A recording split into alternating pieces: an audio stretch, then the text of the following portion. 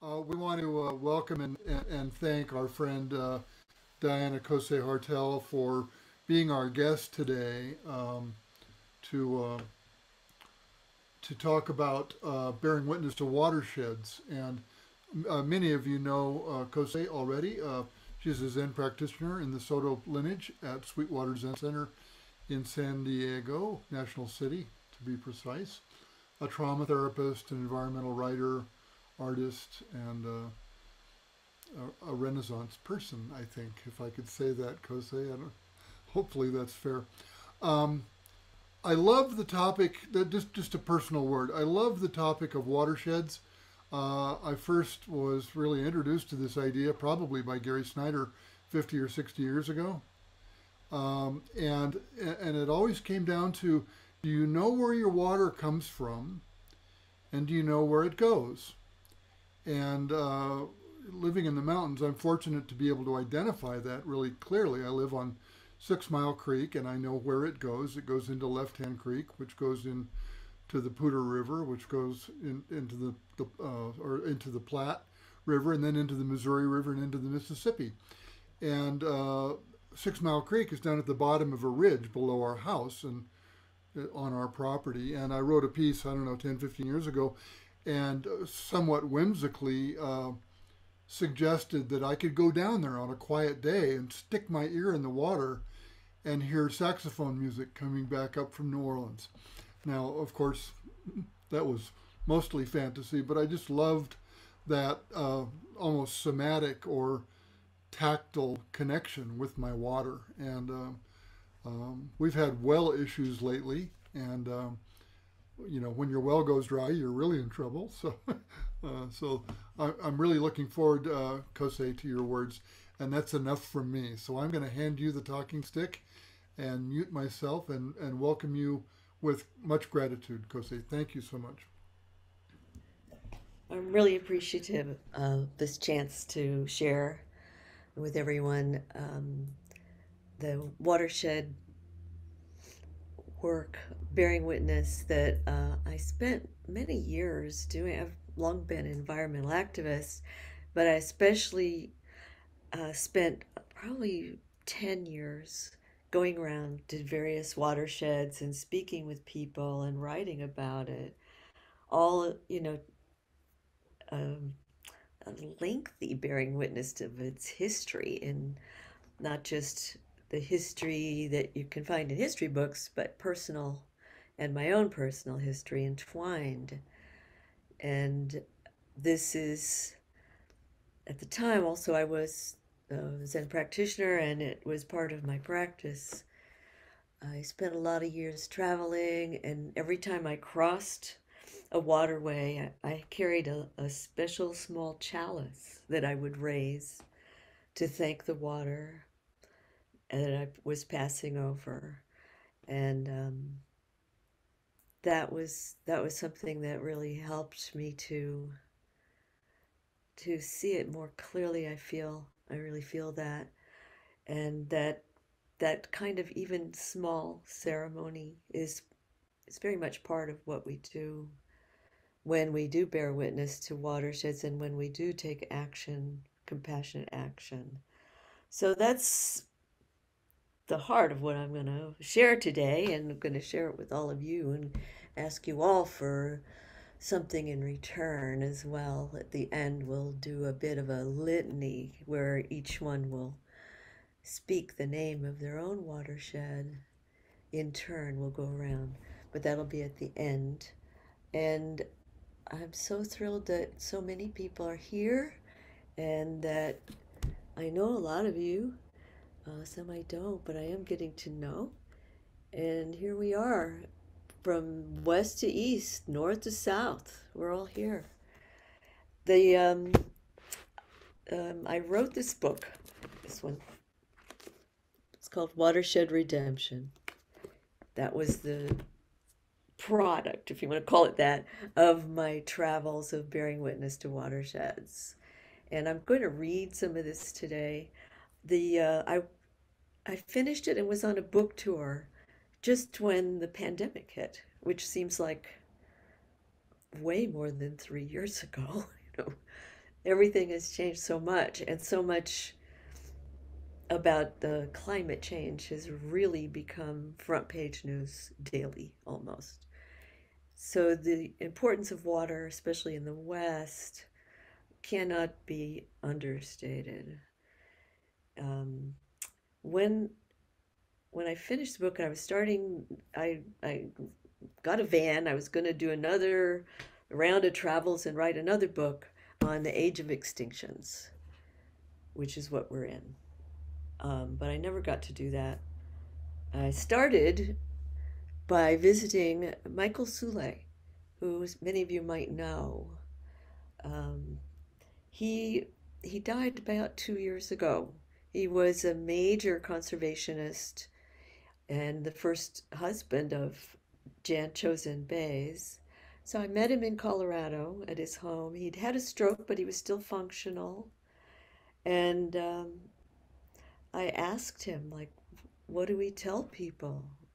You know, what's what is there for people who are just coming into this world that has so many issues in the environment, especially, uh, you know, what should they do? And, and is there hope? And he says, oh no, it's over with. He says, we're done. We're cooked. And he said, um, he said in the 80s, he thought there was a chance to really turn things around. And um, I was surprised that he was so certain that this is it, we're done. And then um, I mentioned to him the California condor. California condor was nearly extinct in, I think, 1987. There were 27 individuals left. And Michael Soule was on the first condor team that captured those remaining condors, brought them to the San Diego Wildlife Zoo, and Los Angeles was also part of this and they began a breeding program. So there were no condors left in the wild. They were only in captivity in this breeding program. And um, he, he was since he was on that very first condor program, I, I said to him, Hey, did you know there are over 500 now? And he just stops, his jaw drops. He hadn't heard the numbers. And he says, They're gonna make it. You know, okay yeah, in the context of, oh, we're cooked, it's over with, we're done, you know, he still held that joy in seeing the condors coming back. So I hold those two things too.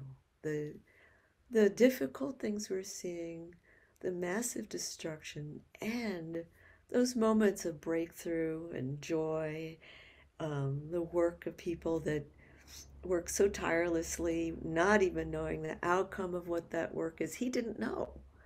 So I take those two threads with us uh, through, through through this presentation. Um, I'd like to start with. Uh, I'm going to take excerpts from two chapters out of this book. I hope you don't mind me reading sections. The first is um, the Upper Mississippi and um, especially chose that because of folks just now coming back from the Black Hills from a bearing witness retreat. So this chapter I wrote on the Upper Mississippi includes a period of um, Standing Rock, the the No DAPL Dakota Access Pipeline. Um, I was there for some of it, and I wrote about it. But um, I also wrote about the background of, of what's going on in the upper Mississippi. And this is called, um, what did I call it? it's a good title, whatever it is. I called it Immortal River, Mortal Soil. And it's especially important because of the very short period of destruction of the lands of the upper Mississippi that um, has had, anyway, some of the richest soil on earth. When before settlers arrived it was the richest soil on earth and a lot of it still is and there is restoration going on. But the story of destruction is a really big issue and my own family story is in it. So and this is what i've been doing examining my own family history. You know what role did that play and what happened as, as history unfolded um, in all of it the destruction, the restoration, all of it. So let me begin here. I hope you can hear me okay. Yes? Okay, all right. Let's start with um, a poem by John Trudell, who is a Santee, uh, was a Santee Dakota, one of my favorite writers and activists. He says, Crazy horse, we hear what you say. One earth, one mother. One does not sell the earth. The people walk upon, we are the land. How do we sell our mother? Yeah. So the upper Mississippi used to have a natural waterfall. It still exists in paintings only. Painting by Bierstadt and George Catlin, romanticized brushstrokes of a captured moment, but it can no longer be found on the river itself. St. Anthony Falls in Minneapolis ceased to be a natural falls under a series of botched engineering hydropower feats for lumber, textile, and flour mills, among them Pillsbury, operating from, from 1881 to 2003. Below the falls, meeting grounds for trade between indigenous nations, nesting places of eagles on Spirit Island, and the Dakota Nation councils at Carver's Cave no longer exist. St. Anthony, the intercessor for lost things and the patron saint of Father, Father Hennepin, the first European visitor in 1679 to the falls and to the now vanished town at the center of the Dakota's traditional lands, has much work to do.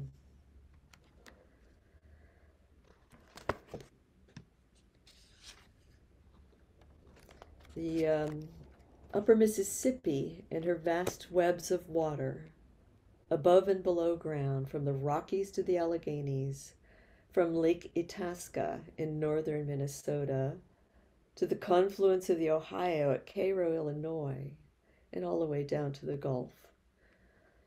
Witness losses for the indigenous people there, European infectious diseases, decimation of native foods, and disposition, dispossession from homelands changed their world. If they survived, most were forced into poverty stricken camps the government calls reservations.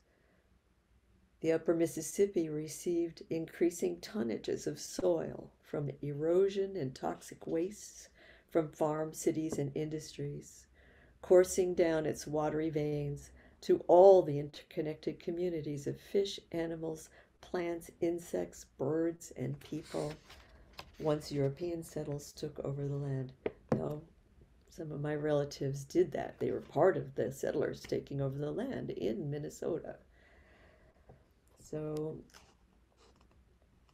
the story of the Upper Mississippi culminates an important movement for indigenous rights to clean water and undisturbed homeland. In parallel to indigenous rights, the environmental movement to halt destruction and restore the land it grows every year. And yes, it still does, in spite of the news you read. It really is.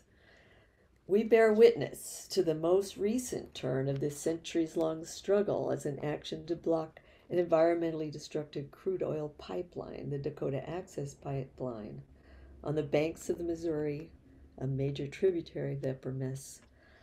This story, 338 years after Father Hennepin's voyage, now called South St. Paul, has complex roots, including my own family history, entwined in the telling. In the bottomlands of the Mississippi watershed can be found the historically richest soil in North America, supporting vast and diverse biological ecosystems. Before the river was bound in concrete by the Army Corps of Engineers and separated from so much of its floodplain, the Mississippi River floodwaters gathered natural nutrients from the land to mix with suspended river sediments As the river overflowed its banks, the waters roared and churned, settled and receded. It changed course many times, leaving plant and animal organic matter throughout the floodplain, in wetlands, ponds, and lakes appearing for variable lengths of time. We call these ancient cycles of flooding naturally disrupted species habitat and nutrient renewal spread over millennia, the river's flood pulses. They're essential to the life of the river and to the life of the river lands. They underlie the region's historical fertility and species diversity, renewing the watershed ecosystem by taking life and giving back even more life. The Mississippi River bears as many names as there are nations who have lived in its watershed. Some names translate as Mother of Waters, Big River, Great River, but those names are used in many other powerful rivers as well. The unique name for the Mississippi translates as the river outside of time, for it is outside of human time, going back more than 10,000 years in its present form. After the retreat of the great ice sheets, we glimpse its earlier history in carbon dated sediment from 55,000 years ago. Some call it the immortal river, as we cannot see its beginning or its end. In the river's headwaters, the river shapes itself into a long question mark, visible from space. The name for its headwater lake Itasca comes from truth in Latin, but Elk Lake or Omashkuzu Zagayigan in the language of the Anishinaabe is its name for the people who first lived here. These people and the Dakotas to the south and west inhabited the land before Europeans arrived such a short period from European arrival when the history there of people is 10,000 years or more. The, the name we use for the Mississippi comes from uh, the Anishinaabe.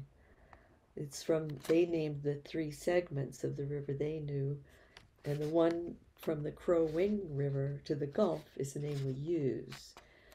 Mrs. Zebe, Mississippi. While the river may be called immortal, the soil proved mortal once settlers busted the deep sod that had been forming for centuries. Through all eras, the Mississippi flows, reshaping the surface geology. How did so much of the river become corseted in concrete and the land degraded? the waters poisoned? We know, don't we? And what of its restoration? The first step was to, to dispossess indigenous tribes, survey it into rectilinear sections of 648 acres, establish townships and county lines along the gridded surveys, and sell parcels of those sections to homesteaders who knew little or nothing of sustainable farming in the upper Mississippi watershed. Most had come from Europe, most not necessarily farmers. Even if they were farmers from Europe, they knew European farming and not the Mississippi, its climate and its soil.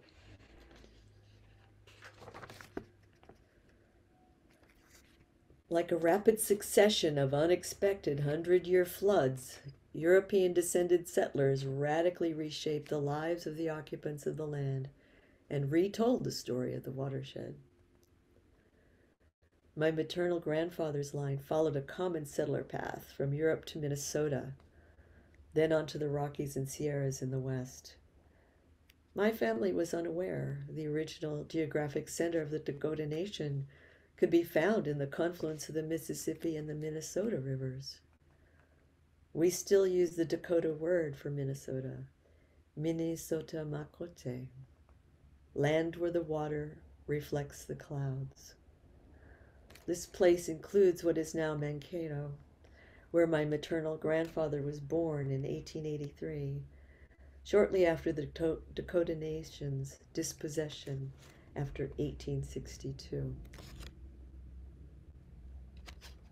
Now, Mankato is an important place, for there was the hanging of 38 Dakota men under the orders of Abraham Lincoln in 1862. It was punishment for what people referred to as the Sioux Wars. And it was just, it was in, and it was occurred during the Civil War, where thousands of European descended people were killing each other. So this was done in order to dispossess people from those lands and to place settlers in to hold the land for for the US government purposes of all kinds, mostly about money and power. So I looked into how was it seen? How was all of this seen in history by the Dakota or Lakota? They're they're in the same language groups. Um, how was that seen? And the way we can look at that is through records kept called winter counts or ledger narratives. Typically, a new pictograph was added um, in each year, drawn on hides and passed down through a lineage of winter count keepers. The counts can be dated to the Western calendar years given an event known as the year the stars fell. There was a great Leonid meteor shower of 1883 30, 1833 that is found on nearly all winter counts covering that time. Originally, the counts or ledgers were tribe or band histories, though with changes due to the diaspora post contact, counts began to follow a more narrow family narrative and were drawn on ledger paper. They no longer did it on hides.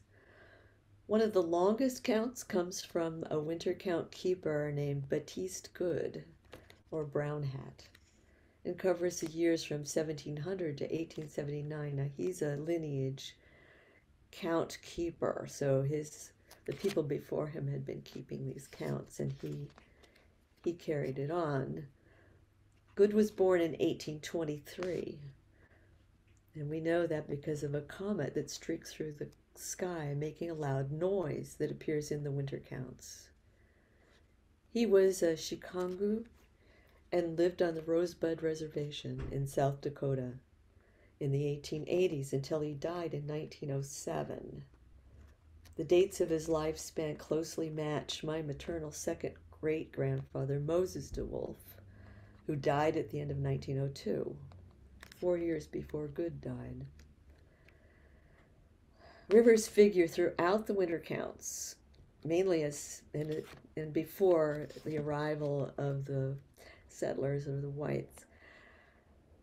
Mainly, they show up. The river shows up as floods or ice or winter camp locations. There were fights with other tribes. Not massive death, but deaths of important chiefs or prominent band members, dances, and ceremonies.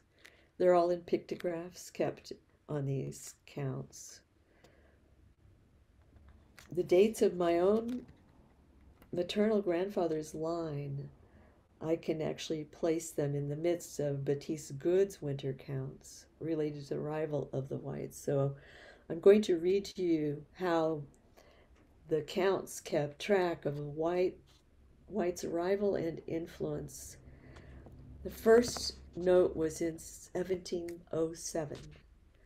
Many kettle winter, got three guns and many pots from an English trader. These, of course, are translated from from these the count data. I believe the Smithsonian keeps these records. 1708 brought home Omaha horses. So horses start to appear in the counts after this. They weren't in it before. 1734 used them up with bellyache, first European derived epidemic for this band. 1739, found many horses, wild horse herds developing at that point.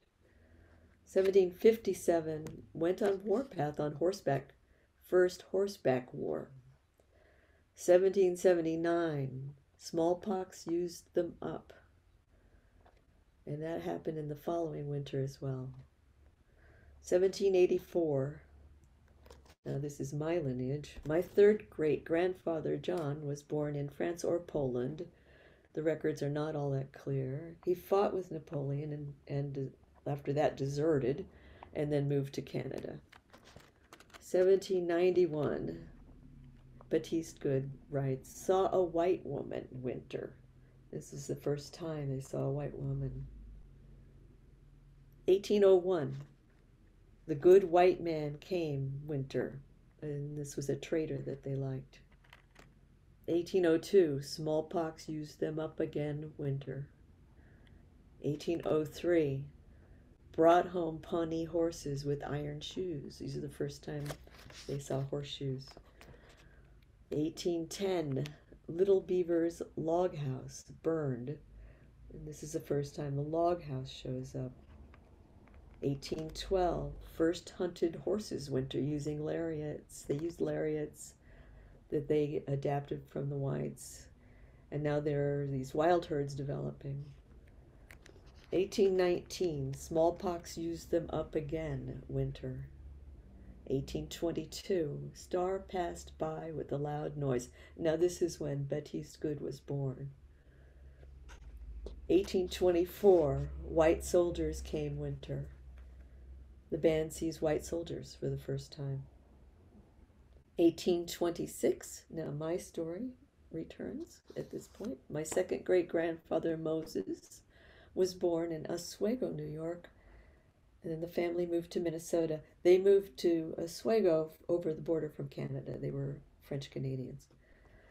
Um, at some point, they changed their names too a few times to uh, they're hard scrabble. It's a hard scrabble family, poverty stricken and and altered all kinds of things in order to survive. 1845 broke out on faces and sore throat. It's a new epidemic. They couldn't name it wasn't smallpox. 1851, the big smallpox, and it was the year of the first Fort Laramie Treaty, creating the mapped Great Sioux Reservation, but Baptiste doesn't note this. He knew about it, I'm sure. It was big news throughout Indian country. He didn't write it. 1852, first issue of Goods Winter. So at this point, they are receiving government supplements, supposedly supplements, but they had lost most of their resources for food at this point and became dependent on U.S. government supplies. 1854, my story returns here. My great grandfather George was born, and then the whole family moved to Minnesota. 1856, Baptiste Good taken prisoner, and 130 Dakota killed, and prisoners were taken by the U.S. Army Baptiste Good writes about himself being taken prisoner. He doesn't write about the rest of it. 1857 trades with Baptiste for furs, a white trader at Fort Robinson he's referring to.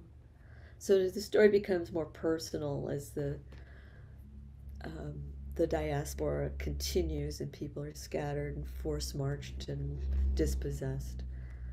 1858, hunted bulls only winter. There were no cows in the bison herds. 18, the, the ones they had access to. 1861, broke out with rash, stomach pains, and died winter. Another unknown epidemic that came from European descended settlers. 1862, killed spotted horse winter so this is a Crow man who was killed by Dakotas, and but there is no mention of the hanging of the 38 Dakotas in Mankato. That was the same year that happened. But they didn't mention it. My own family's diaries don't mention it either, but I know they all knew about it. 1868, Baptiste Good made peace with General Harney. This is the second Fort Laramie Treaty. Many chiefs and generals were involved, and Baptiste Good was one of them. 1873, measles and sickness used up people year. So he knew the names of these diseases by then. 1877, Crazy Horse came to make peace and was killed with his hands outstretched. So this was in the aftermath of Custer's death in 1876. Custer is also not mentioned in Baptiste Good's winter counts. The final entry for Baptiste Good for Brown Hat is 1879. Sent the boys and girls to school winter. So the children are being abducted and brought to to uh, schools that are supposed to take the Indian out of them, kill the Indian, and create the man. Supposedly, there were, as we know, it's a tragic history of what happened with these kids.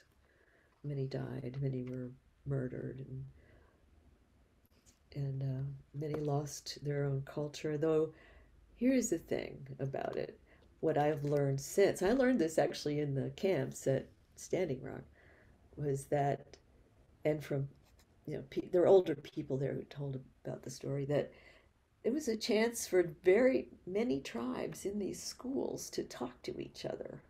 They didn't all, they didn't have each other's languages. They developed ways to communicate and learn from each other. And the AIM movement, the American Indian movement, actually sprang from this. So the attempt to destroy native culture actually resulted in a massive, later on, massive movement for native rights. My story is in 1883. My grandfather Bert was born in Mankato, about 12 years after the hanging of the 38 Dakota men. So I'm going to go on to, I have to watch time here. I could read all day. to uh, the Standing ground, um, where we're turning the history around, basically. We're trying to, eh? Um, I'm going to skip some of this. So we, my friend and I went to Red Warrior Camp, which is the more radical camp at Standing Rock, against the, you know, the actions for the Dakota Access pipeline that was to go under the Missouri at that point, and later again through the under the Mississippi. Um, the the Standing Rock Sioux tribe says no. This is a violation of treaty rights that we all signed, and you cannot do this. This is on our land that you guaranteed to us. Um, It began actually as a walk to Washington by tribal youth, and then later grew to over 10,000 people camping out near the Standing Rock on the reservation and nearby. The direct action ended in uh, 2017 when water protector camps were cleared, mostly voluntarily, on the request of the tribal head. Oops. Sorry. Sorry about that turn off the phone.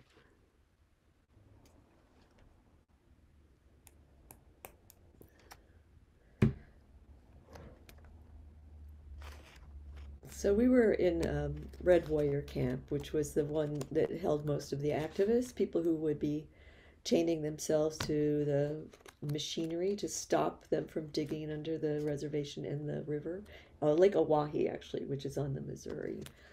Um, it's not really a lake. It's a it's a, a impounded water. Um, so here we are, Red Warrior Camp. We found a fence covered in signs and flags with a decorated Mothers Against Meth car next to the fence. A large sign in black block letters proclaimed no pictures. As we pulled into an open camp space, our camp neighbor Diane from Michigan a native woman my age told us she had just witnessed the dog attack at close range. This is when dogs were brought by the security police of the Dakota Access Pipeline folks. Um, she just witnessed a dog attack. She informed us at the same time that we had an awesome camp cook, an older man who called himself Grumble. She pointed to a wiry older man wearing a gray apron and a warm, worn Peruvian cap. He was a veteran of many decades of environmental and social justice actions, starting with Seeds of Peace. So, Grumble is who I worked with during that time. I helped in the back lines, cooking and cleaning under the direction of Grumble, and we attended civil disobedience nonviolence trainings that were held daily. We had chosen this camp because we were following Honor the Earth, the organization founded by Winona LaDuke, an Anishinaabe Ojibwe, if you want to, both names apply sometimes, activist and former U.S. vice presidential candidate who ran with Ralph Nader. If you any of you remember, so a lot of us are old enough for that to remember that. Um, her mother is a visual artist from the Bronx and is a friend of mine back in Ashland, Oregon, where Winona was raised until she headed to Harvard and into a life of activism. Honor the Earth and collaborators successfully blocked Line 3, the Sandpiper oil line through Minnesota, and I had long admired their work. With native seeds, wild rice harvests, health and social justice, for all tribes and actually all people. It is evening, and we finish serving a savory meal of beans, fry bread, potato salad, and mixed cooked greens. We eat in the warm camaraderie after prayer, led by an elder. Afterwards, around the campfires, we ready for the next day front lines. Most slip off into separate planning groups.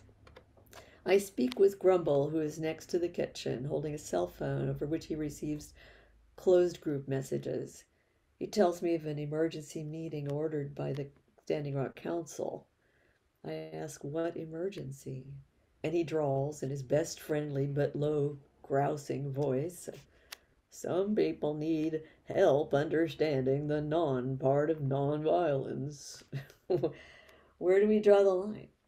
Not defending oneself when struck or not damaging property? He offered no details. Amidst the whinnying horses, the amplified sound of a man singing a refrain of a Bob Marley tune can be heard from a nearby camp. You, you all may know the song. Emancipate yourselves from mental slavery. None but ourselves can free our mind. Redemption songs. That's a good song, says a man, his face hidden by campfire smoke. Indeed, it is. Water is life in all our lives. And in this unarmed action, we have our pure intentions and our strong voices as our touchstone redemption songs. This is the basic foundation of environmental action, whether frontline protests, legal suits, canvassing petitions, or lobbying. Songs continue through the night, and I recognize the American Indian movement anthem, intertribal. It consists of of vowel sounds with no associated words, so that it's not a particular nation's language.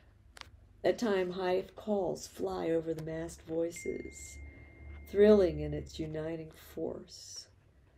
Occasionally, an energizing war whoop splits the night from those preparing for possible arrests the next day. There were over 800 arrests for this action. In camp, as we clean dishes, a man going by the name of Happy and a woman named Julie test their gear in preparation for lockdown to the pipeline bulldozers. I finish work and sit by a neighbor's campfire where a young boy excitedly tells me where the pam- pipeline company bulldozers are located. After showing me the scars of his eagle offerings at the Sundance from the past summer, he tells me the life of Tatanka Iyotake, Sitting Bull. Sitting Bull brought the nations together, envisioned the defeat of Custer, refused to settle on reservations until forced, and would not give up his rights. The boy did not talk about how Sitting Bull once had a vision he would be murdered by his own people.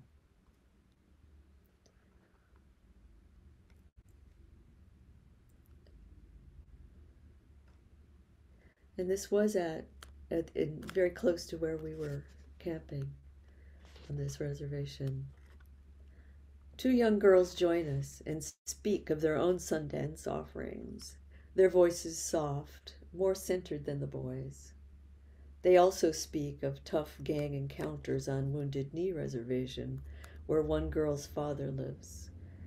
Their voices are nearly monotone, matter of fact, as they describe assaults. I consciously still myself to listen. Long black hair framing sweet round faces. These girls touch my heart, as does the wiry boy, who is already becoming a water warrior like his father. Flickering memories of my own daughter at their age, also black haired and round faced, along with ancestral ghosts, certainly the ghost of Sitting Bull, inhabit the dense darkness that comes and goes midst the campfire flames. So I'm going to stop here. So I want to go on to another another river story. We have time, right? Yeah, looks like. Um, so, in the aftermath of all of the, the work at Standing Rock, the, there have been ongoing lawsuits. It's still not entirely settled. And um, let's see, the last action was a temporary shutdown order overturned by a U.S. appeals court on August 5th. This is 2020. Though the environmental rule review was ordered to continue, but the pipeline continues to operate. So I want to go on from here to talk about the Klamath River, which is the river where I started this whole thing of witnessing water, witnessing watershed, um, the the pain and the and the movements to restore. It's a, a place where my parents lived, the watershed of the Klamath, place my parents lived, and I lived in as well. Uh, it was, um, and I began working with the Klamath through my own grief, my own deep grief. Um, my Japanese mother in law had died, and my father was um, becoming very senile. He and I had had a horrible relationship for many, many years. He was a military man, um, angry, abusive, and uh, we really didn't see eye to eye on just about everything, or I thought anyway at the time. So the journey for the Klamath was also like the this is Upper Mississippi, a journey of my own family and my own life, my own issues to witness and clear up. So the Klamath, though, has an amazing outcome. On that river, there's been an effort to take down four salmon habitat killing dams, and that effort's gone on for decades um, the dams are actually going to come out. And most think that in 2023 we'll see the first actions to do that. The contracts are being forged now. So, you know, everyone's like overjoyed. And we hope that it's not too late for the salmon. The salmon are in dire straits for sure.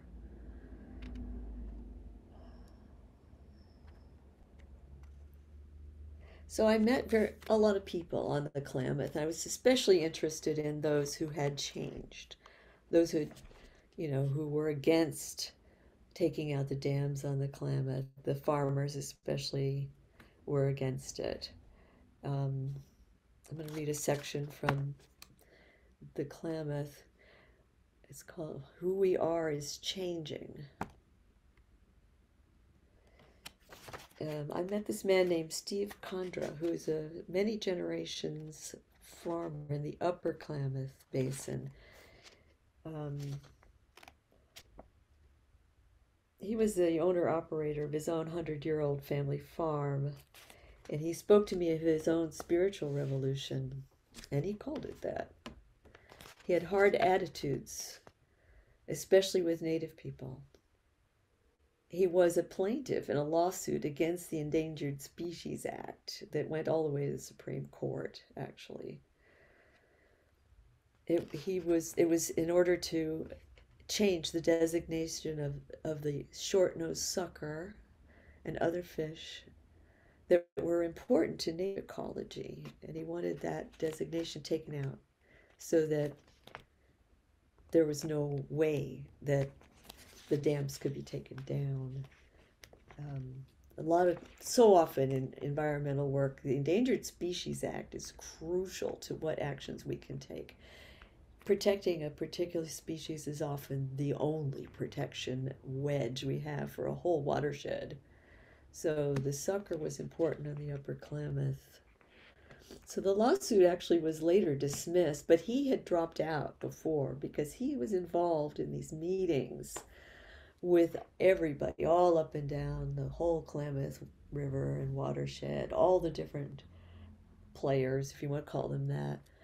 Um, I don't like the word stakeholders myself, but um, uh, farmers, fisher people, native and non native, tribal groups, environmental groups. There were many, many, many people, and crisis to crisis, dramatic meetings where people would stomp out. At some point, they held some particular meetings to get people to to really meet each other, to be each other, really, to walk in each other's shoes. And those meetings, led by this man named Chadwick, went on for quite some time and they made a huge difference, actually. Um, he speaks about it. Uh, he says, he says when he started going to those meetings, it changed him. He didn't, he didn't understand who the other people were on the river and how much the river supports all of us. He didn't see that connection. The river connects and he didn't see that. He only worried about his own farm and how much water is going to be delivered and why should we hold some back for the fish. But he changed. He knew after a while that we really needed to sort it out for everybody. And he says, We're going to try to sort things out together instead of trying to work things out by suing each other to death. Yeah, lawsuits, there were tons of them. And now, he said to me, Mexican Americans are are entering the picture as they progress from farm workers to managers and eventually to owners. Kandra envisions a future where local fairs will be salmon, potato, and taco celebrations, which is a great image, and it is happening. These cracks in self images and beliefs, though painful, were necessary to the creation of what would become the Klamath Basin Restoration Agreement, the first groundbreaking agreement between 28 major groups on the watershed. It was first of many agreements and attempted agreements to come. It's not something one seeks out without cause, but through desperation and necessity. It takes courage to step past the history of genocide, broken and twisted treaties to create a new agreement with descendants of the settlers who ans- whose ancestors took part in the native disposition and murder. It takes emotional strength to feel deep remorse for atrocities against native people that were perpetuated by one's farmer ancestors. It's simpler just to say it wasn't me, and it could not have been my kin who murdered or stole but bringing herds of cattle, setting up commercial fisheries and canneries at the mouth of the river, dredging the rivers for gold, logging off forests and homesteading lands acquired at gunpoint proved in the end more lethal than armed soldiers.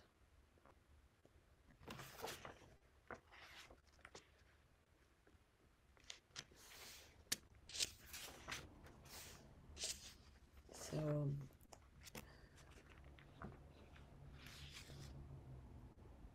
So for my own family story, a lot of the story on the Klamath is about the fish and the, the salmon and diabetes. Diabetes entered into native lives once the fish were decimated. Um, before that happened, people had about 500 pounds of salmon per person per year. By the time I was meeting people on the river in the mid 2000s, people had five pounds of salmon a year at most, and it was hard to get salmon for ceremony. These are salmon nations. The salmon are crucial, and they couldn't even get salmon for ceremony. So diabetes entered. Um, native foods were gone. Diabetes entered the Karuk on the middle of the Klamath, the Yurok at this at the ocean. All of them are suffering. They're starving, essentially. They're starving.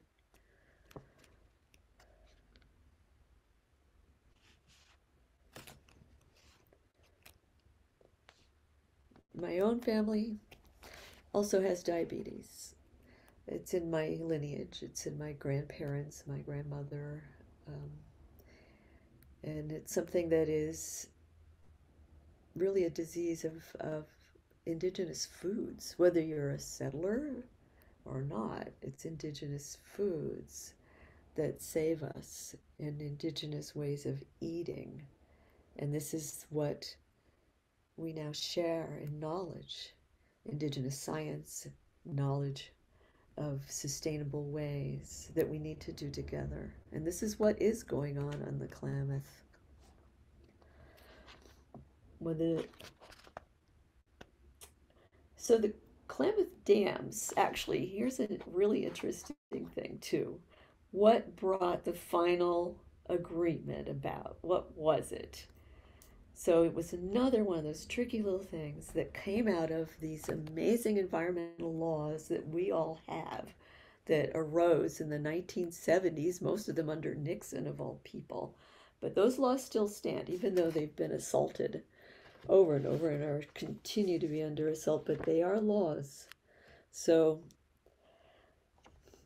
here's what happened here. One of the oldest forms of life on earth held the key.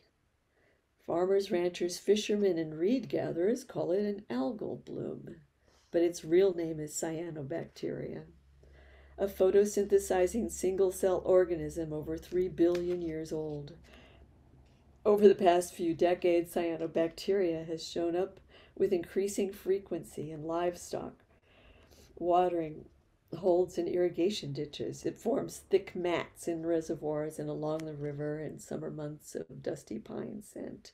The acid green mats pile up below willow covered riverbanks. With its seasonal appearance, hazard signs are planted along the river. Its decay byproducts poison dogs and wildlife and injure humans. Cyanobacteria thrive in warm artificial lakes, low water flows, and agriculture runoff of the dammed and diverted river. Klamath River Keeper and native ceremony leaders together sued PacifiCorp, who owned the dams, for fostering the toxic blooms, and they won. The process of relicensing the dams had to terminate.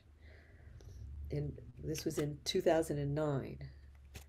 Even if the dams could have been re engineered for fish, fish passage as required, it would not have stopped cyanobacteria.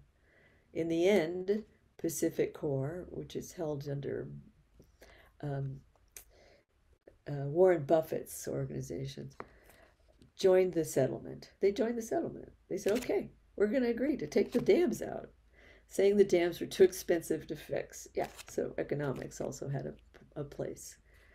Cyanobacteria was not named in the final PacifiCorp document, but it certainly lurked there, hidden in the torpid, stagnant language of the relicensing paperwork.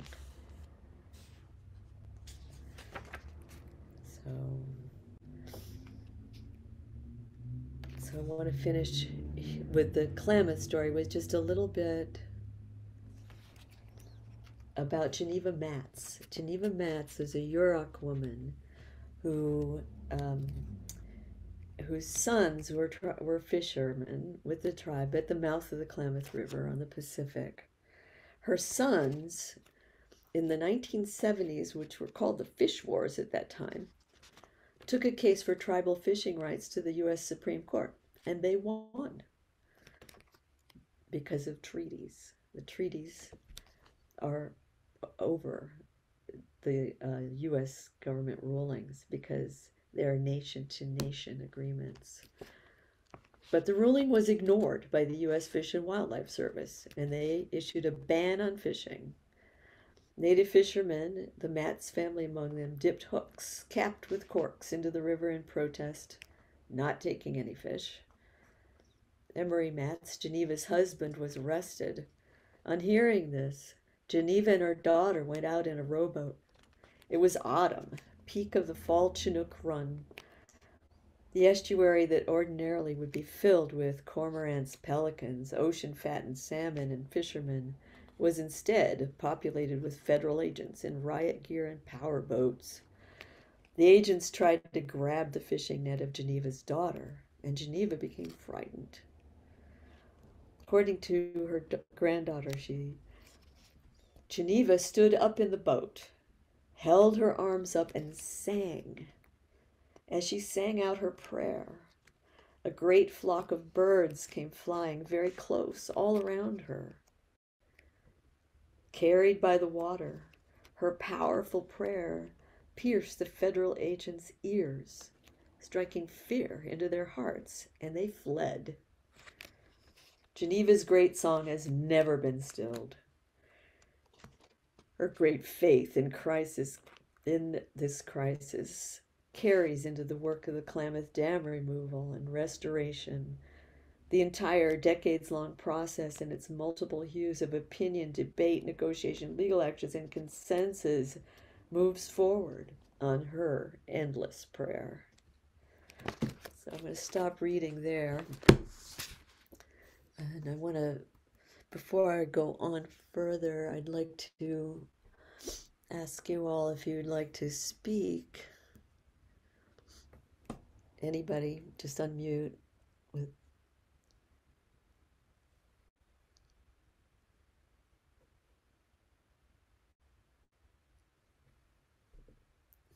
Uh, questions or comments?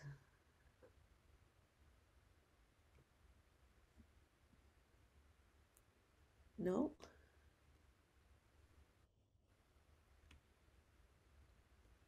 Yeah, I, ha- I have a question, Diana. Yes. That that um, oil pipeline that was to go under the Missouri River, and the, did they ever did they actually stop it, or did they go over the It river? or went under? it went under. It went under the Mississippi as well. It's Yeah. now And flowing oil under both rivers. Yes, and delivering to refineries in Illinois. Yeah, because Are, are they all all to? the Are they still working to try to shut that down? absolutely through legal action. But um, the courts have been back and forth. Sometimes they say stop, and then another court overturns that, and they start again. And the most recent operation has been that it's it's still flowing oil and leaking, of course. And we what? Yeah, Yeah. it's uh, it's leaking, and but the actions continue, and the the actually the laws favor stopping it. So I have faith that with enough time and action and enough good people in the right places, um, that it will block that pipeline, just as line three was blocked earlier. Okay. I appreciate you uh, reading from your book. I've I've read your book and I really enjoy it. So thank you so much. thank thank you. Appreciate that. So, what time have we got left? All right. I wanted to go on with uh, the importance of, of ceremony, of ritual, of practice in all of this. And in all the environmental groups and people I spoke to, just about everybody I met who's been long term dedicated a really good person, and it has spiritual practice. Um, some of them say it's nature itself, and some will be Catholic, and some are their indigenous tribal culture of of prayer. But everybody has something, and um, you don't see that in the news, do you? You know, we don't see that. That underlying all of this are people, as they say in Standing Rock, remaining in prayer, remaining in spiritual practice. So, um,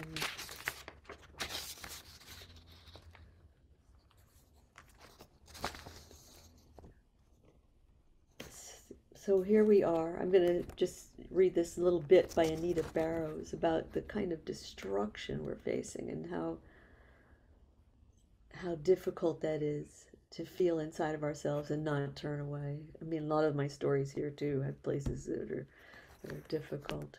Anita Barrow says, And I would travel with you to the place of our shame, the hills stripped of trees, the marsh grass, marsh grasses oil slicked, steeped in sewage, the blackened shoreline, the chemical poisoned water. I would stand with you in the desolate places, the charred places, soil where nothing will ever grow. Oh, I would touch with this love each wounded place. And this is what we do. We do this together. We witness. We enter into the oneness of everything, including these painful places. I'm going to read a little bit from Zenju, Earthlyn Manuel, in her fantastic book, Shamanic Bones of Zen, when she talks about what is ceremony, what is ritual. Um, she calls it chanting spells, which some people don't particularly like that language. It sounds like witchcraft or something, but whatever. It's, you know, it's what you make of it yourself. Oneness, she says, oneness, interrelationship is an experience beyond our comprehension. Who and what is in oneness? Who can say they know that which contains the whole universe? Chanting is a powerful way to experience oneness. To merge with our many voices as one sound is to join together in an intimate way, as we do with our breath and sitting together. There's one mind, one heart. Even if we live or meditate alone, we are united with other awakened ones not only those in our immediate vicinity, but with all awakened beings from past, present, and future, everywhere. Zenju goes on offerings are made, and we begin to use our voices as a place where silence usually reigns. However, we will be using our voices in a different way. We will not be speaking our words. We will not be speaking of our suffering or joy. Mostly, we will utter sounds that can light up a dark cave if sung with our hearts. And this is what Geneva Mattz did on the Klamath when she sang out. She sang out from her fear, but she joined to all beings in her, in her great song, or the river. She spoke for us all. So I would like us to, if we can, um, chant our own watersheds and rivers and um, I'm going to start it with with the California rivers. Um, I don't know if you can hear this. I'm going to play a little bit of a music that was written for this by my friend.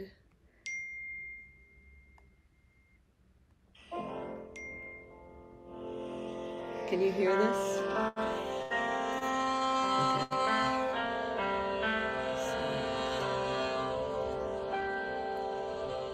Being one with the Cedar River, being one with the Sweetwater River,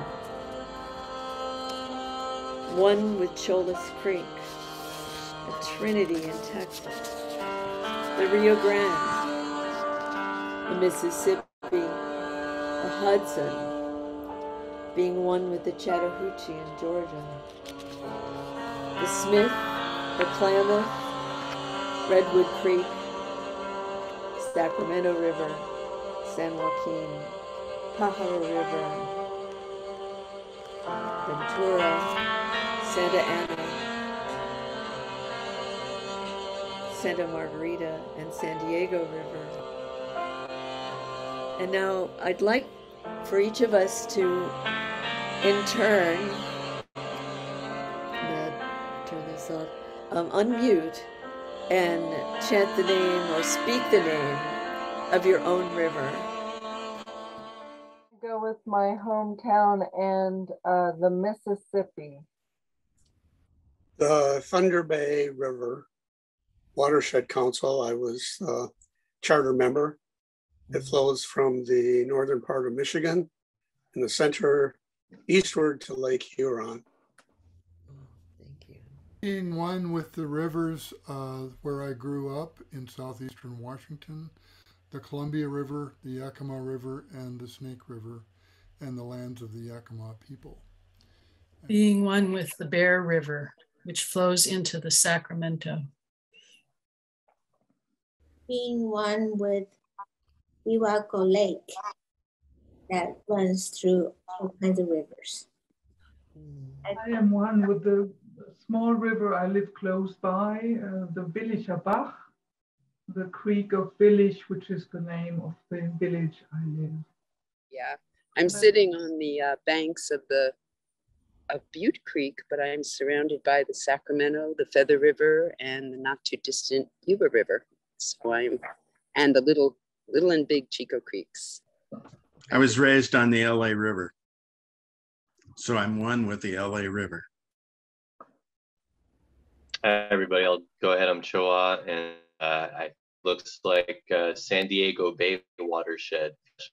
Yes, we're here in the western mountains of North Carolina, and I'm one with the Swannanoa watershed. This is from from Asheville to Black Mountain, one with the Swannanoa watershed, where we are working for all the people and all of the beings. Um, thank you for all of that. I mean, uh, it's it's so important to acknowledge and our identity with the the waters, the land, with all of it, and and from that place we form our actions out of our compassionate hearts because we deeply love all of it. So, uh, just want to open to discussion in the time we have left. There is no um, record of the prayer um, that was shouted by Geneva Hart. There's no Geneva. it's a song. Yeah, it's a song. It would have sounded so. I've heard the songs from her her nation. Her she's Yurok nation, so it would be a bunch of sounds. It might be like like this, but very loud, and sounds that mean something to her. It wouldn't be words. Um, I know her family. Um, I've stayed with them, and they carry on her tradition. They actually have a Yurok owned uh, uh, inn that's right on the mouth of the Klamath. It's a very old building, and it's the first time that there's a Yurok owned inn on that river. It's wonderful. If you ever have a chance to go in those lands and meet them, meet the Mattz family, highly recommend. It's a wonderful place. Could you say her name again, please? Geneva Mattz, M A T T Z. And that Mattz name is on the Supreme Court dockets from the time of the fish wars in the 70s when her her family had this case to protect native fish fishing rights which were originally protected under the treaties to begin with.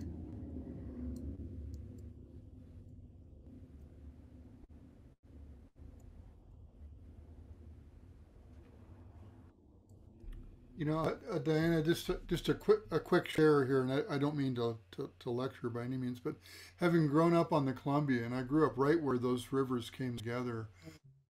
Um, you know, uh, uh, the the human, you know, the, the, these affronts against nature, in some cases, like the Columbia Basin Project, occurred long enough ago that the human perception of them was that it was really for the greater good.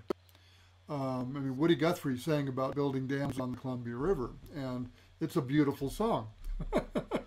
and it rolls on, and I can sing every word because I grew up there. Uh, you know, grew up in a place where hydroelectric power and nuclear power converged. You know, probably one of the biggest welfare states in the country at the time, southeastern Washington state. But, uh, you know, almost without exception, all of those dams, Grand Coulee and McNary and you know Ice Harbor and all those dams, were looked at as being wonderful things because they supplied electricity for not just the Northwest, but you know all over the place. And it's taken time for them to be seen in a different way and to remember all of the places that were flooded, uh, the fishing grounds for the Yakima that were no longer accessible, ways of life that disappeared because of those dams. Um, and I don't really have so much of a point as just that observation. And they are so big, and so there's so many of them, and so so entrenched in the land.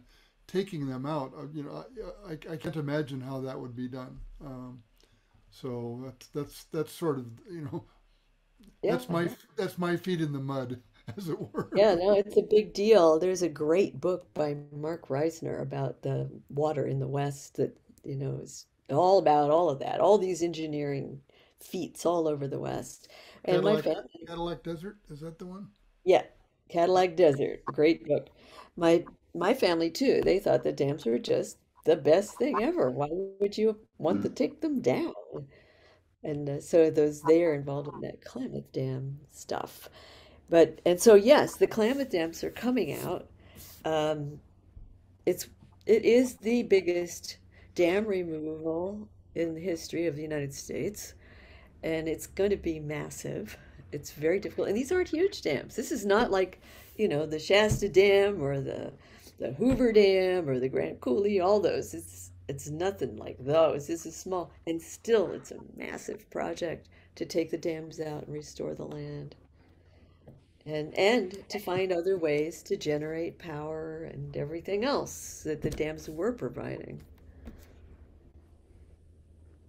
Huge task. It's amazing that so many, to, from my point of view, so many people have been so deeply dedicated to all of this through every obstacle. They just keep going. Mm-hmm. They just, you know, whether you're a for or against, it's just an incredible undertaking when we meet together and try to sort out you know how can we save ourselves and the land and all the beings the wild creatures of it? It's huge.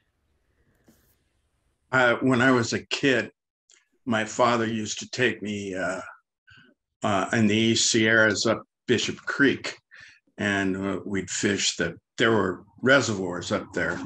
And uh, anyway we'd fish those reservoirs but the reason he was taking us up into the Owens Valley River shed or watershed was because my grandpa worked for the Department of Water and Power. And uh, though he hired on after the uh, Owens uh, River, uh, the LA Aqueduct was finished, in fact, the very year it was finished, he hired on to uh, the Department of Water and Power. Um, that's why we went up there. And uh, LA gets, or at least that was one of the main sources of water for Los Angeles as Los Angeles developed. And uh, anyway, uh, I think that that area is not so. Uh, it's well, actually, the Sierras are uh, within are in a drought, and the Colorado River is at, a low flow. So it seems like a good part of Southern California is going to be uh, having a catastrophic uh, water shortage. So, anyway, it's something I think about. Um, and uh, I feel like I'm a part of all that, uh, both historically and spiritually. Uh, anyway, that's my two cents. Diana, I'm so grateful for your beautiful presentation. You, it's, you've inspired me to learn much more about the Cherokee experience here in Western North Carolina. And because uh, we, uh, there's a small group of us, uh, local citizens here in the Swannanoa watershed uh, working to, and we're using uh, Kate, Kate Raworth's model of uh, the donut, you know, how to create a social foundation that doesn't overshoot the ecological ceiling. So that's the model, but we haven't done what you've done, which is to go, uh, we have, we don't have much knowledge of the Cherokee roots, uh, the Cherokee history, and uh, you you have provided so much poetic and spiritual depth to uh, encountering water and watershed. So I think we're approaching it more from the ecological, the uh, scientific and uh, economic and social. So I want our group to, I'm going to share your presentation with our group and I hope we can go much deeper. Thank you so much. I'll share. Diana, go ahead, John. Yes. I'll share a minute or two about um, a lesson in hope, I guess. The Thunder Bay River that I mentioned flows into Thunder Bay of Lake Huron. And there was a movement in the 1970s to create an underwater park in that area. I proposed to the federal government in 1982 that a national marine sanctuary be created in Thunder Bay. It would be the very first freshwater national marine sanctuary. It was a very contentious issue. An advisory vote was held in the city of Alpena, Michigan, which is uh, at the, uh, not the source, the end of the Thunder Bay River. And the idea was just terribly torn up. Uh, our Democratic administration in our state capital was opposed for three basic reasons, primarily because of uh, the thought that the federal government would intrude upon management of state resources. Our most conservative governor, possibly in 1980, decided to do some studies or have some studies performed, and he agreed with the uh, NOAA agency. And 18 years after the sanctuary was proposed, it was designated. Uh, 435 square miles became the first freshwater national marine sanctuary. It became so popular that um, just about three or four years ago, it was expanded to over 4,000 miles. And the opposition that we ran into uh, would have discouraged just about anybody. But I think the lesson of uh, the success of this sanctuary um, is uh, is well observed that there's no opposition to a common sense effort to save our natural water resources. Wow, that's amazing. It's really, it's, I love stories like this. Thank you.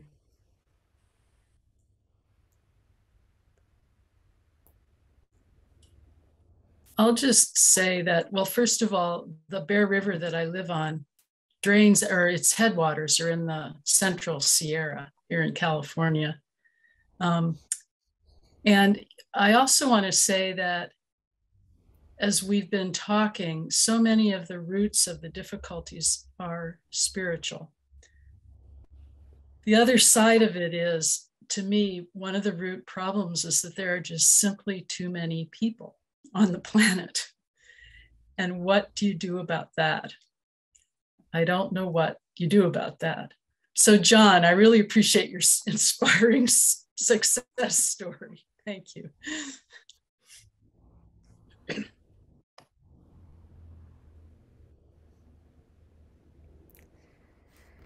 Well, yeah, the population stuff is something I go into a bit in, in my book writing because it's always been something important to me since the first time that um, Paul Ehrlich wrote the population bomb and uh, and also the uh, Club of Rome wrote their their did their mathematical modeling and all of that. Population is crucial to so much, and um, there are really credible models that, given the givens that we have now, showing that population is going to peak and then decline, and it'll very likely go back to the levels of the 1890s, which would help a lot. But how we get there is the big question, you know. It's going to be a hard and painful drop. Or can we do it voluntarily? It's probably going to be both.